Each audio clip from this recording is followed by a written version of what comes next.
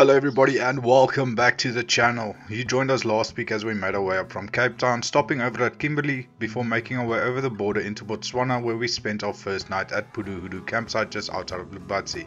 From there we made our way up to Khama Rhino Sanctuary where we spent a peaceful night and witnessed some amazing rhinos in the wild.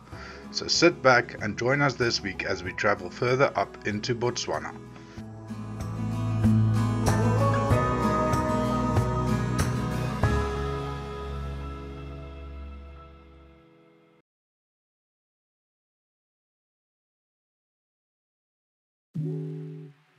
We had another early morning at Khama Rhino Sanctuary as we had a quick breakfast before pitching up camp and making our way out of the park. Pretty soon we had the camp pitched up and we were on our way towards the gate.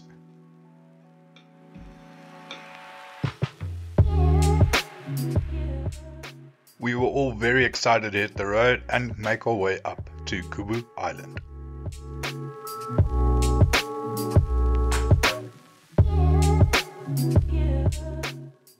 On our way out we were greeted by one more zebra before we got to the gate and turned back onto the main road.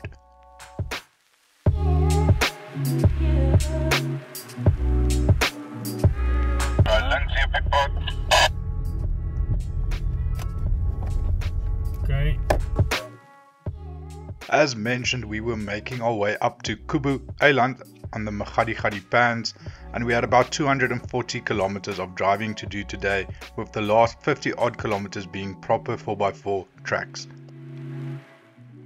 On our way there, we stopped over at Letlhakane, where we filled the cars and the jerry cans and shopped for some last minute basic essentials. I was very excited as this would be my second visit to the Makgadikgadi Pan. A lot of years back, I had the privilege of uh, exploring the pans on the back of a quad bike and spending one magical night sleeping under the stars on the pan. But this will be the first time that I'll be visiting Kubu Island.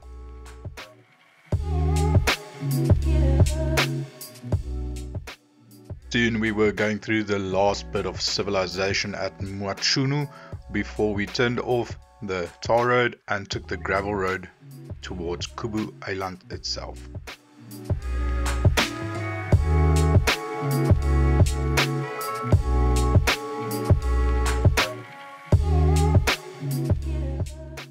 From this point onwards you will need a 4x4 vehicle with quite decent ground clearance to make your way to Kubu Island.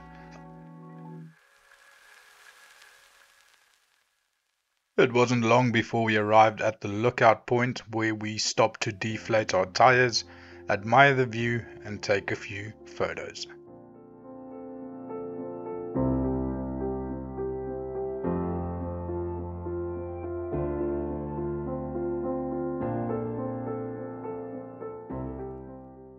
From there we continued further along the tracks, making our way to Kubu Island.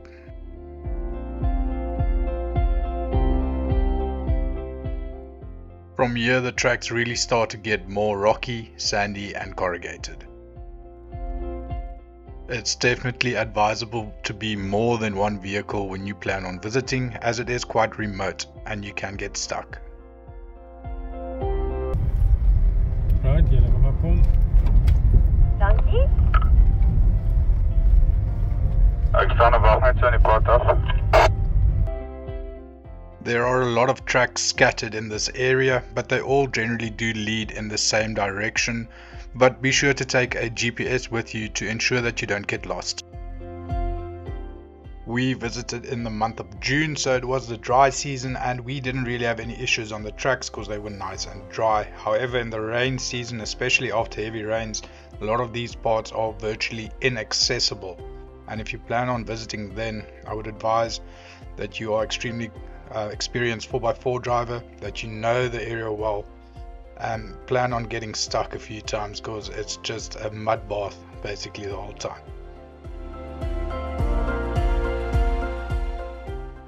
After about an hour or so's driving, we cleared the shrubbery and made our way onto the edge of the pan itself. It's really here we start getting that feeling of the remoteness and the emptiness of this area, which is just absolutely epic.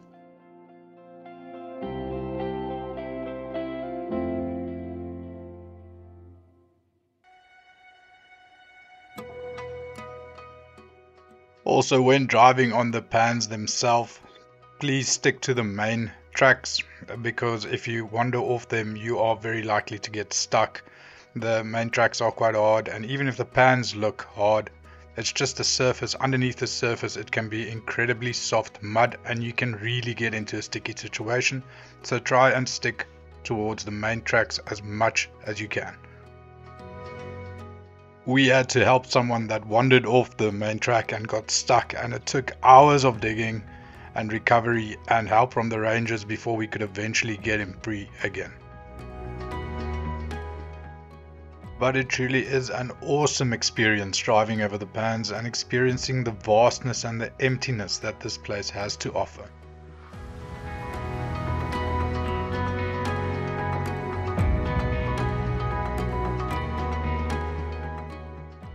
On the pan area itself, there is a few signposts scattered around that will lead you to the camp area itself.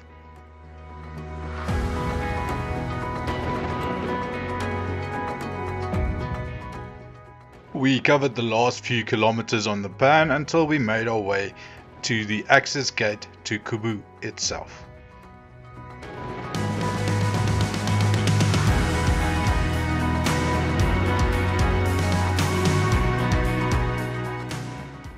At the office, we quickly checked in before making our way to our campsite for the next two nights.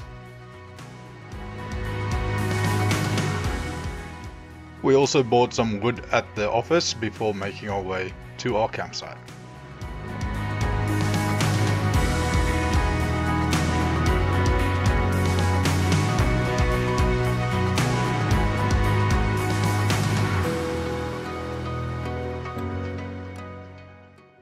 It's about a kilometer or so's drive from the gate to the campsites themselves that are all nestled on the edge of the island itself, with some of them having some spectacular views over the pans.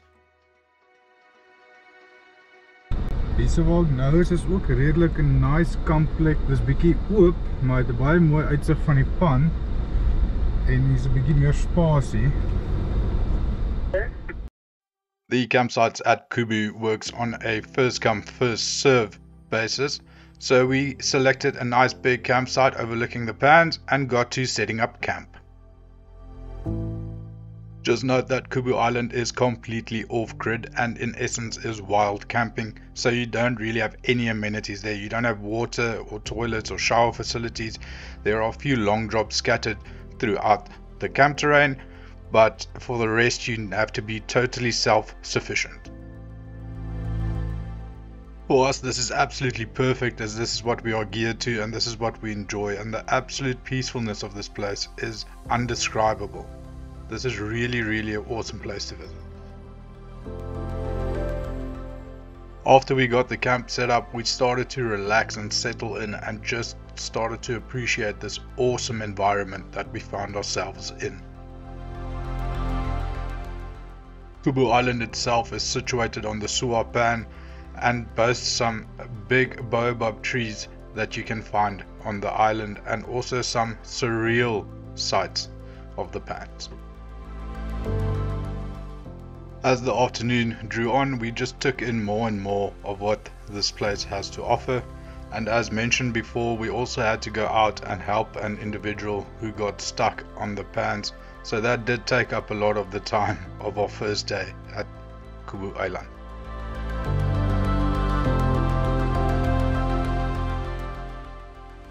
Back at camp the sun was starting to set and everyone slowly started migrating towards the fire to have a nice braai tonight and just enjoy each other's company.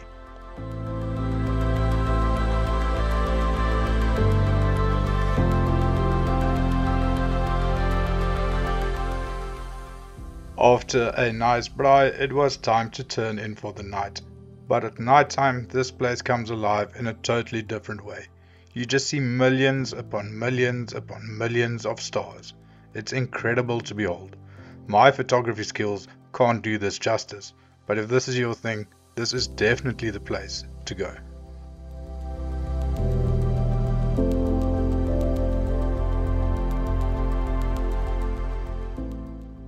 The next day, everyone got up at their own pace as we had a nice day to relax at Kubu Island.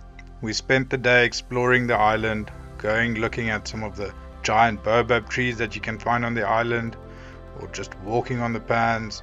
It was just a nice lazy day of exploring Kubu Island.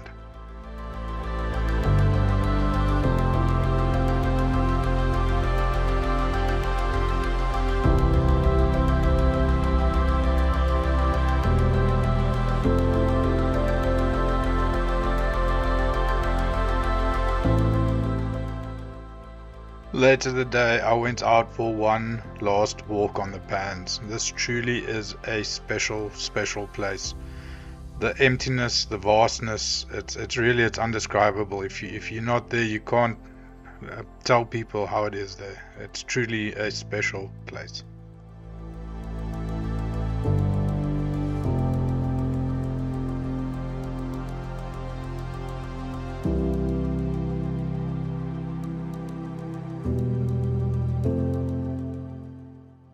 We were treated to one more spectacular sunset before it was time to get the fire going and sit around for our last night on Kubu Island.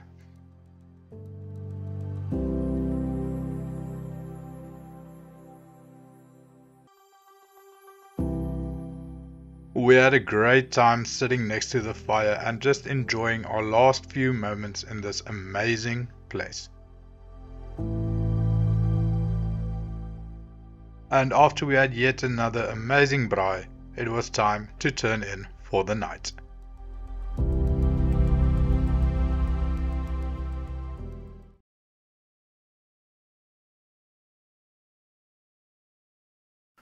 We had a nice early start to the morning as we pitched up camp and got back on the road. Today we are making our way up further north towards Nata Lodge it's about 130 kilometers drive, but the majority of the drive would be on Tweespoor 4x4 tracks. This was absolutely awesome for me as these are the type of roads that I really enjoy driving and exploring.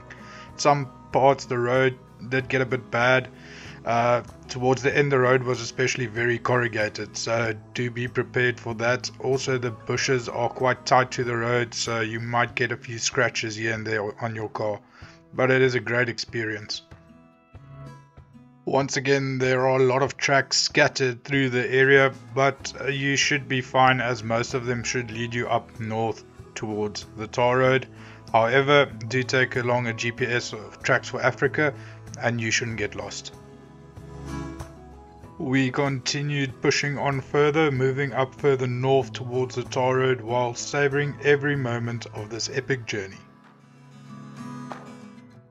Once again, as we were there in the dry season, the tracks weren't that bad. It's a bit corrugated in places and a bit sandy here and there or rocky here and there, but overall, not too bad. After a while of driving, we were on the final stretch of our 4x4 tracks and it's in places it's great where the trees open up. You can really see how you're driving up between the two pans making your way up north. Really it was a great drive for me something I really enjoyed this holiday. As you got closer and closer to the tar road again, you could see small signs of civilization popping up around you again, and it wasn't too long before we reached the tar road.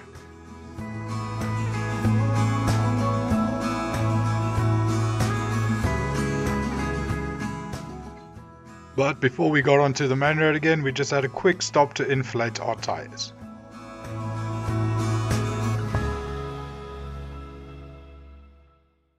From there, it was a 30 kilometer drive on a tar road towards Nata, where you can fill up with diesel if you need to, or stock up on the basic food supplies if you need that. However, we pushed through towards Nata Lodge, which is just situated just a few kilometers outside of Nata.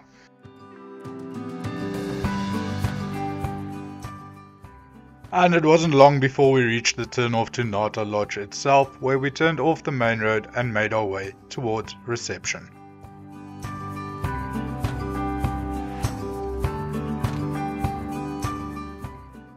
Upon arriving at the reception area, we quickly checked in for our night stay before we had a quick lunch at the restaurant. The lodge itself is very neat and tidy with a nice pool area and a bar and restaurant area where you can have a lunch or just catch up on what's going on back home. We will do a full review on this campsite, be sure to keep an eye out on the channel for that. But of course, we were here to camp the night, and after lunch, we got back in the cars and made our way over to the campsites. The campsites are situated a few hundred meters from reception, and they are all nestled in between trees to ensure that you've got good shade throughout the day. You do camp on a sandy terrain, but it really is a nice vibe in the camp. and it wasn't long before we were all pitched up and settled in and enjoyed a hot shower for the first time in a few days.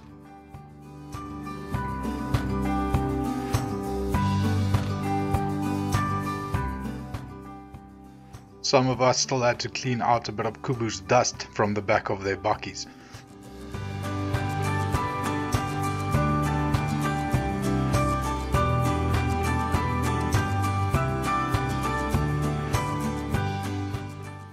But pretty soon we were all settled down and relaxing while enjoying a breathtaking sunset. And as always, just as the sun set, we got the fire going and we all settled in around it, enjoying each other's conversation before having a nice braai and settling in for the night.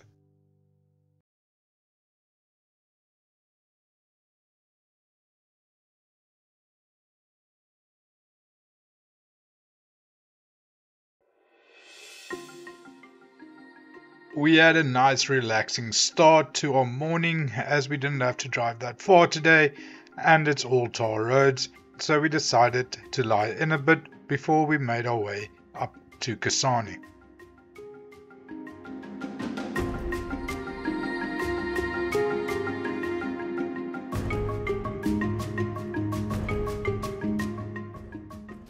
As we exited the camp, we turned right onto the main road and pointed the car's nose in the direction of Kasane.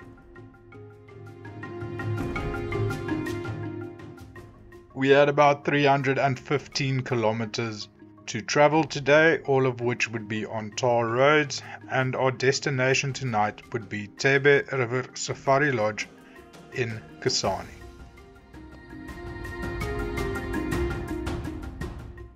We've driven this road quite a few times in our life and we've always seen elephants either next to the road or crossing the road and this time we weren't disappointed as well.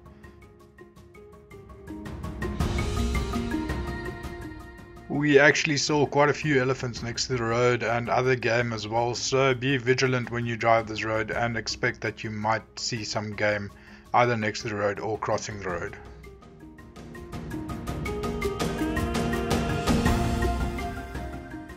We pushed on further and soon we were in the town of Kazungula where we turned left and made our way to Kasane. If you continue straight on this road, you would reach the Kazungula border post where you would cross over into Zambia. It used to be a ferry, but uh, they've completed the bridge a few years ago.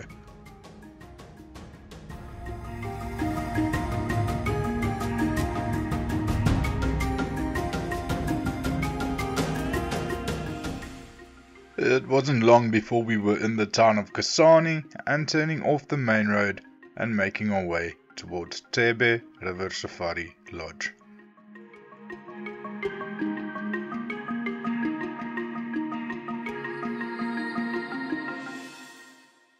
From the turnoff we just followed the road through the gate and made our way to the reception area where we checked in for our stay. We'll be staying three nights at this lodge. At the reception you will also find a Wi-Fi hotspot so that you can connect to the internet And from here you can also book day excursions such as trips to Chobe National Park or boat cruises on the river or trips to the Victoria Falls or if you want to add in your laundry you can also do it here. We made our way from the reception to our campsite that we'll be staying on for the next three nights.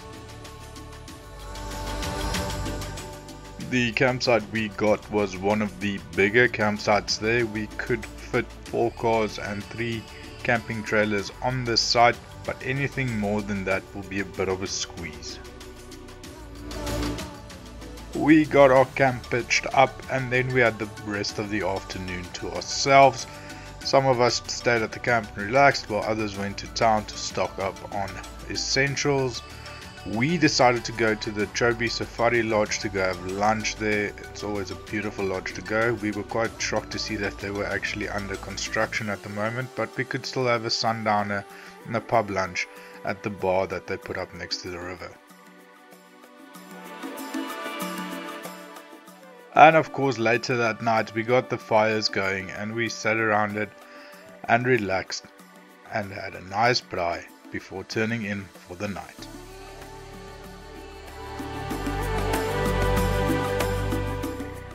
We were up early the next morning as we were making our way into the Chobe National Park via the Sedudu Gate and we couldn't believe our luck. We probably haven't even driven a hundred meters or so and we saw this lioness sitting right next to the road, stalking an impala. She did have a charge at him, but unfortunately the cars got in the way and she left disappointed. After that incredible sighting, we continued to drive through the park, seeing some more game, including kudus and buffaloes and hippos, and we even had a laugh at the cheeky baboons playing around, and even one falling out of a tree and we did drive the whole morning through the park in search of our game. We went down to the beach road next to the water, but it was quite quiet then. We didn't really see anything there in the morning. We decided to take the road up uh, to the smaller roads more towards the tar road side in the park. And we were really unlucky. We didn't see a lot in the morning that side. We knew the elephants were close because one had pushed a tree over into the road just before us and we had to get out to move the tree out of the road but we couldn't find them at that moment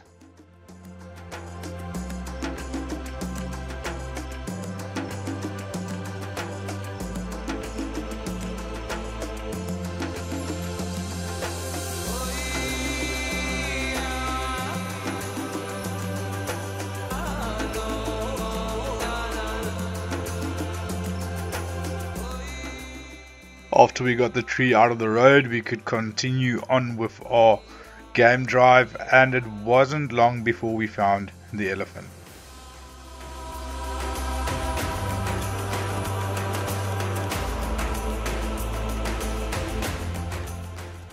This was actually quite strange to us that we drove around the whole morning and only saw the one elephant because usually you do see quite a lot of elephants in the Chobe.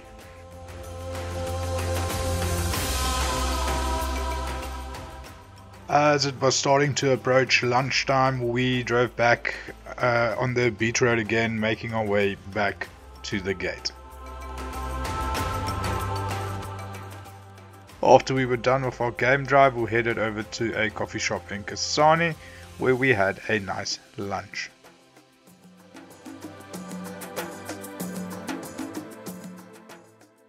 I took a stroll down towards the jetty and from there you really had an amazing view of the Chobe River in all its glory.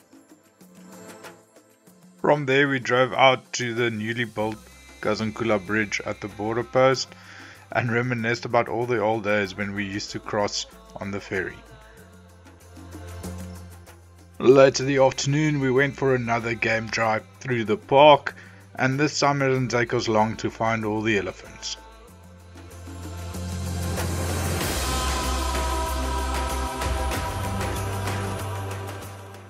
On this afternoon drive we truly did see a lot of elephants.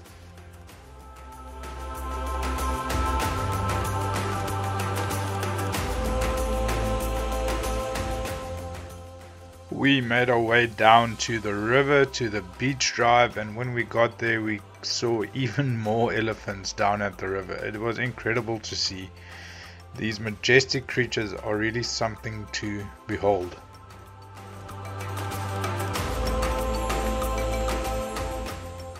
We spent the rest of the afternoon just sitting next to the river and looking at all the animals coming down to drink.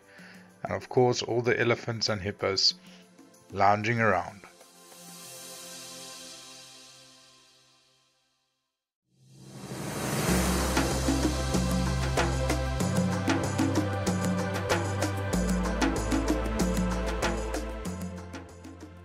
Soon the sun was starting to set and we made our way back to the gate and back to camp where we got the fires going and sat around and talked about all the sightings we saw today before calling it a night and going to bed.